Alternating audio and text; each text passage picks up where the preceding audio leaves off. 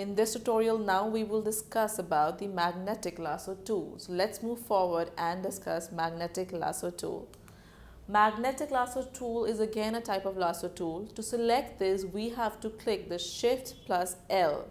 So we're going to move through the various lasso options. So like we just discussed we have the lasso tool, the polygon lasso tool and now the last one the magnetic lasso tool. Magnetic lasso tool is the edge detection tool it basically search for the edges. So while you are moving around the selection, it's basically searching for the edges and it sticks to those edges like a magnet. So if you have images which has a deep contrast, for instance, somebody standing at a plain background, magnetic tool will help you to create selection and you can even achieve transparent images through this tool. So let's move into Photoshop and learn about this amazing tool. Let's start. So let's begin with the magnetic lasso tool which is just under the lasso tool and the polygonal lasso tool. So here we find the magnetic lasso tool and to select it you can also do shift L and it's gonna go inside. So you have a magnet attached on the side as you can see. Now so magnetic lasso is basically an edge detection tool. It actively searches for the edges of the object as you're moving around it. It snaps the selection outline to the edge and clings to it like a magnet. I'm just gonna quickly show what I mean. So it's basically if you see is looking for edges. And it's actually going so it's actually I have my mouse clicked and I am going slowly so magnetic lasso helps me better when I have a stark difference between my object and its background. So I'm moving and moving slowly before I create the selection. So remember you have your mouse or your touchpad. So I'm pressing my touchpad continuously. I'm not left it.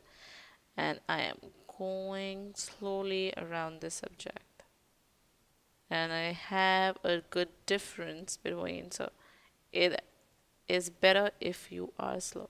And don't worry if you've actually uh, left out or you've gone inside we have options of adding into the selection like we have in the marquee tool. So any error made can be corrected so don't just leave your that you made an error and leave in between. Continue and we have the option in Photoshop to correct your selection. But I've been quite precise I feel and I leave it and I have this wonderful selection.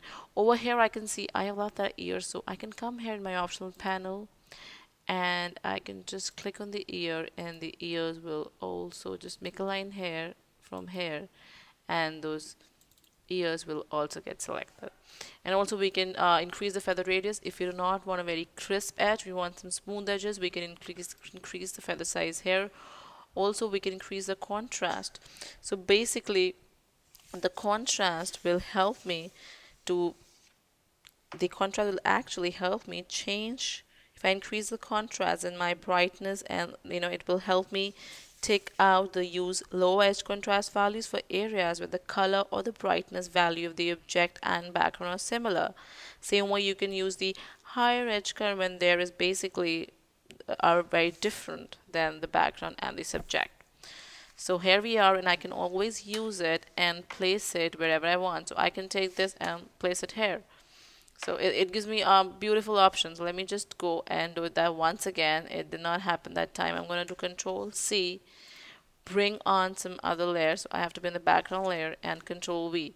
So, and let me bring it forward. So so I have this on the top. I can also do control T lower this and just place it. Though it does not look nice let me hide this woman from here if that makes a difference. So I can go here. Okay I need to actually approve my transformation before I go ahead and I can hide this.